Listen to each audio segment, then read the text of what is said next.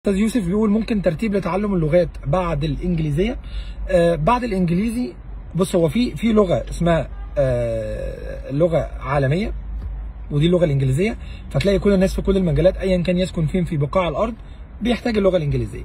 ثم تاني أهم لغة بعد الإنجليزية لو أنت عايش في دولة عربية إذا شوف اللغة اللي أنت ممكن تاخد بيها مثلا منح لو أنت طالب ألمانية مثلا آه بلد انت عايز تزورها أو ليك حد قريب فيها وهتطلع له فيها فاتعلم لغة البلد دي. آه لو انت عايش في بلد معينة يبقى البلد المعينة دي لغتها أولى إن انت تتعلمها. لو انت عايش في مصر ولا انت هتطلع منحة ولا ليك حد قريب ولا ولا فانت إذا دور على اللغة الأكثر انتشارا بعد اللغة الإنجليزية وهي اللغة الصينية مثلا.